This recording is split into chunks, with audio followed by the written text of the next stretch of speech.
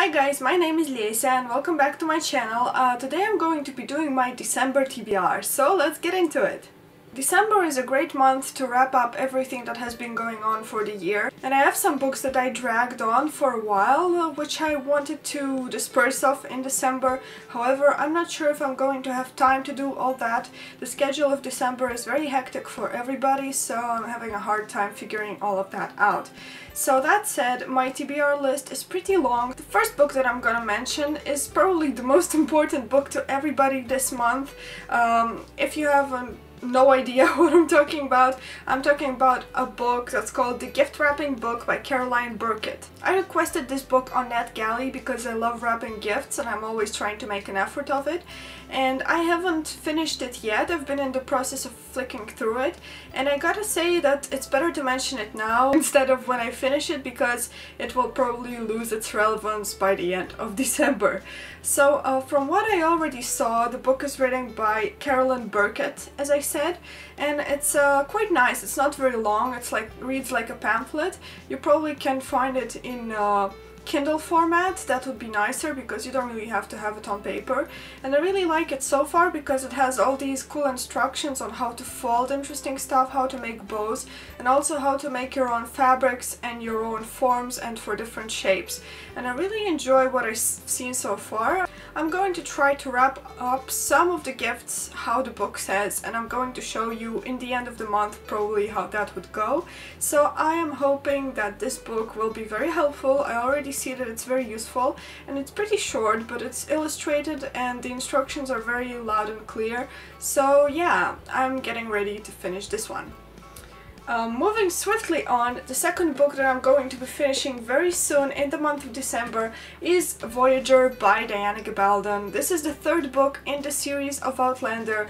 If you haven't heard anything about the Outlander series, it's a basically a time-traveling series of novels uh, about Claire who travels from the year of 1946, if I'm correct, to Scotland of the 18th century where she has this epic new romance. And I've been taking my time with the series, I picked them up when I found out about the TV series by Starz uh, as you may have heard about it. And this book has been quite popular, but now I am uh, finishing up with the thicker one, Voyager, and I'm almost at the end of it, as you can see. I'm using some weird bank receipt for my book.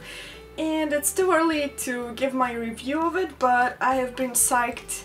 I started this book only a week ago and I've been only reading in transport and I really love it very very much.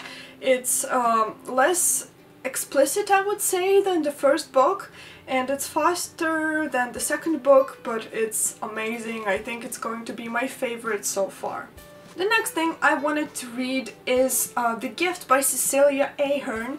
I know that she's famous for writing this, these light romance literature, I suppose, but I haven't read anything by her and I picked this book because I saw it on a secondhand flea sale somewhere in Europe and it was really cheap and I wanted to try it out so I picked it up.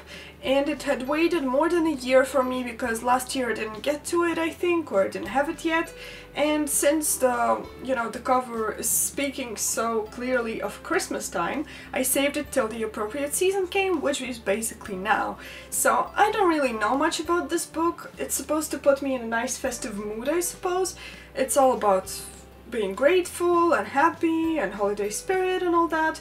It says an enchanting and thoughtful Christmas story that speaks to us all about the value of time and what it is truly important in life. Well, I can't pass that. It seems pretty short, so I hope I'll have time near the end of the month by the 24th, 25th of December to get through it. So yay! The next thing I wanted to read, and that's probably my fourth book that I would like to read, is The Elfstones of Shannara by Terry Brooks and I'm lifting this huge volume that you've already seen on this channel because I haven't gotten to the library to return it. I'm past my time. I'll probably have to pay some fee for me being so tardy and late, but I just I just couldn't help it.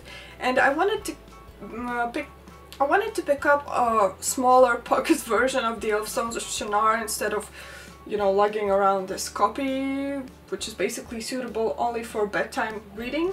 But I don't know if I'll have time. I really wanted to finish the Elfstones of Shannara at least. That's the second of the three novels and I really want to hurry up with it because I hear that um, the series were going to come out in January, if I'm correct, on MTV, and I have a feeling that they're going to skip over the Sword of Shannara and go straight to the Elfstones of Shannara, uh, based on the trailer that I saw, so I really want to know what they're talking about because I'm really going to keep up with the series. So yeah, good luck to me. The next book that I would like to finish reading in this month is the Night Parade by Kathryn Tanquary. I hope I pronounced that name right. Um, so uh, this is another book I requested on um, NetGalley and I'm really looking forward to it because as you can see right now somewhere here that um, the cover art for the book is pretty damn amazing. The book is in the middle grade section but you can sign me up for a middle or kid book any time of the month, the year, day, whatever.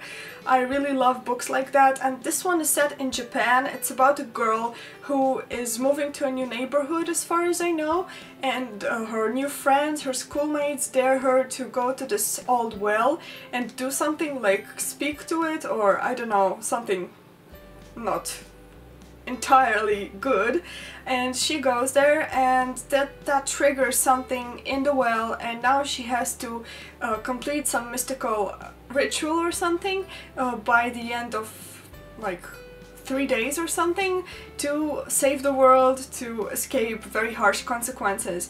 And I really like it because this sounds like something that I can relate to. Kids very often do stuff that are not allowed and often when other kids say, oh well, don't be chicken, just do it, this is why we basically end up doing it. And I think this is going to be a very sweet, nice Christmas story and I just think that the cover is so amazing I want to pick up this book. The next book that I'm going to read is the second book in the Rift War Saga series by Raymond Feist and Jenny Wurts, The Servant of the Empire. Now, I talked about The Daughter of the Empire in my November wrap-up, but um, yeah, I picked this book up immediately after finishing the last one and I have stopped like one third into it. It's very good, I, I very much enjoy it, I like it, but I just needed a break from the world, you know, to shift my perspective. And yeah, I am looking forward to picking up the story again to find out what's gonna happen with Mara. And this book has a shifting perspective, not uh, only the first character that we met in the first book, Mara, but also her enemies and people that are plotting against her. So that's totally awesome, but I just hope I can pull it off. And the last book that I'm hoping to finish by the end of this month is So I Married a Highlander by Kate McKinley. And this is a book that I've already read like 40% into it, but as you can see by the cover, it's a cover that should probably not show to anybody reading in public transport. Um, I just picked it up because I was feeling like an easy, fast romance, and basically this is what it is, but it's slightly more explicit than I expected, so I felt really awkward when I got to some stages of it in Metro, and um, I'm reading it on my iPad, so it goes pretty quickly. This is one of the novels with cases of insta-love. I just wanted something set in Scotland, but when I went like 30% into it, I realized that I wanted something more serious, and this is basically when I picked Voyager. Um, but I am still going to finish it, hopefully. It's not going to be a case of did not finish for me, and I am totally ready to kick ass in this month. I've had a couple more books that I wanted to finish, but I'm just gonna have to be realistic about it. There's no way I'm gonna manage all this. Um, as you can see, I finished like six or seven books last month, and some of them dragged on from last month, so I'm going to have to make a rush of it in order to finish everything by the end of this year. So um, this was it for my um, December TBR. Please let me know down below if you've read any of these books and what kind of books are you reading this month. I would love to get some picks on Christmas books um, that I could read. I don't know if I can manage, but you know, the December holidays are coming, so I can pretty much squeeze more books into my January TBR. Thank you very much for watching. If you like this video, please don't forget to like and subscribe to this channel and give thumbs up to my videos. And I hope to see you guys soon. Have a nice day. Bye bye.